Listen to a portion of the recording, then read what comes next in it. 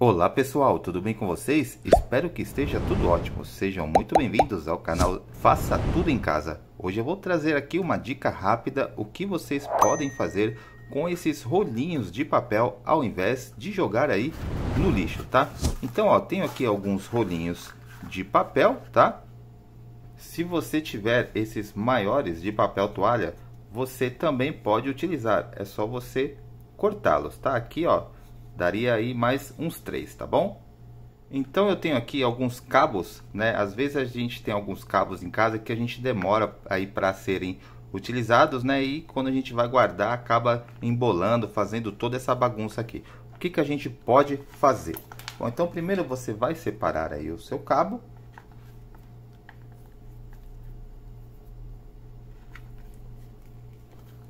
Você vai começar a dobrá-lo dessa maneira, assim.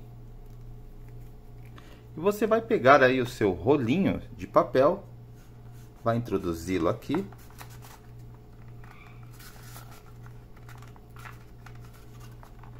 E agora nós temos um cabo organizado, tá? Então, ó, vamos pegar um outro aqui, esse aqui.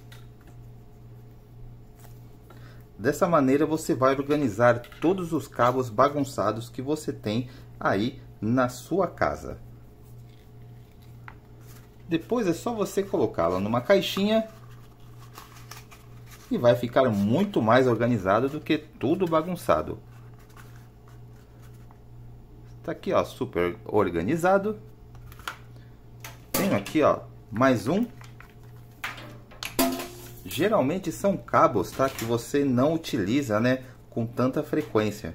Então você acaba colocando aí em alguma gaveta e esse cabo acaba ficando por um longo tempo. Aí você coloca outro cabo e depois você coloca outro cabo. Quando você vê, você tem 10 cabos lá que você não está utilizando, todos embolados. Ó, você vem vir aqui, colocar muito simples, ó. Está aqui. Olha como fica muito mais organizado. Certo? Então, se você gostou dessa dica, já clica no botão aí embaixo para você fazer a sua inscrição no canal. Faça tudo em casa e já deixa o seu like, tá certo? Um abraço e até o próximo vídeo. Tchau!